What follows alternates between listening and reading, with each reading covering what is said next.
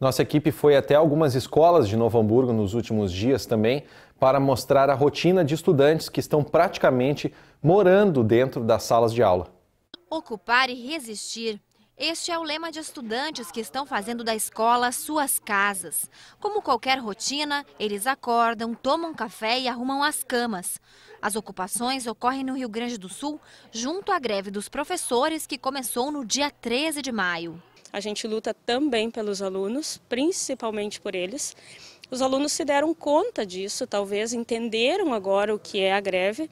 Alunos mais esclarecidos, alunos mais conscientes, alunos talvez mais maduros né, para entender o que está acontecendo e se deram conta de que eles podiam sim lutar junto com a gente, que a luta não era só por nós, que a luta era por eles também.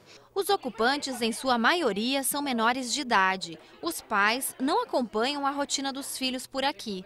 Larissa tem 15 anos e disse que sua mãe já dormiu com ela, mas como precisa trabalhar, não é sempre que ela vem na escola. Mas ela trabalha de faxineira, daí ela não pode dormir todas as vezes assim. Mas ela tá apoiando, mas meu pai ele já é contra, porque ele acha que a gente tá perdendo aula, que não vai ser recuperado depois. Uhum. Então a minha família assim tá mais ou menos, estão aceitando, porque eles estão vendo que a gente tá se empenhando, né, que não é assim só vir aqui na escola e não fazer nada. Uhum. Que a gente faz várias coisas aqui, sabe? Então, Sim. É Bom, e quando teu pai fala sobre as aulas, o que que tu diz para ele?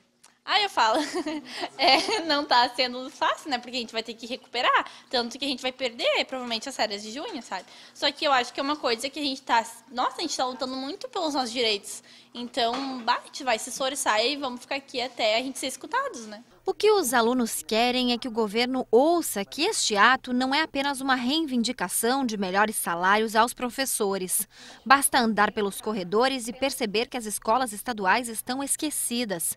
Esta área, por exemplo, virou depósito de classes e cadeiras sucateadas. Elas não podem ser jogadas fora. A gente não pode descartar porque tem toda uma burocracia né, por trás e tudo que entra na escola né, de patrimônio é contado. Então, o que for colocado fora também tem que ser contado, tem que dar toda uma baixa, né? Por isso que está aqui. Neste banheiro, as portas quebradas não são o principal problema. Tem uma questão de encanamento aqui, não sei se é por questão de terreno ou porque alguns alunos jogaram muito papel higiênico na, na, na privada, eu não sei. Mas de vez em quando alaga tudo o banheiro. Fica cheio de mijo, e aí não é água, é mijo pelo chão. Tá? Fica transbordando até ali a rua. E os alunos entram de qualquer jeito e fica uma lama e cheiro muito forte. E é muito grave, né? Por questão de até de higiene, né? Uhum. Vamos dar uma passadinha aqui bem para ver os detalhes aqui dos, do assento. Como vocês podem ver, né? No vaso não tem tampa. No, no vaso não tem tampa, né? E a descarga não funciona. Outra reivindicação dos alunos é o fim da polêmica PL 44, um projeto de lei que quer privatizar as escolas estaduais.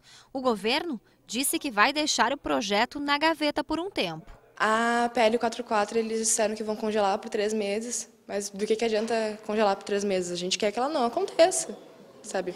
Daqui a três meses Beleza, a gente vai desocupar daqui a três meses, se precisar a gente ocupa de novo, então a gente volta. Mas a PL não vai acontecer, a gente não quer que ela aconteça. A gente sabe que os projetos de lei que tem uh, tramitando, eles vão fazer uma diferença muito grande, né? Que a, a escola pública, ela pode chegar a um ponto que não exista mais, então que, que, mundo é esse que a gente está vivendo, onde a gente paga tudo que precisa pagar, tudo que nos é cobrado, e daí nem em educação, escolaridade, a gente não vai ter retorno, a gente já não tem saúde, já não tem segurança, e aí também não vai ter mais em educação. Complicado, né?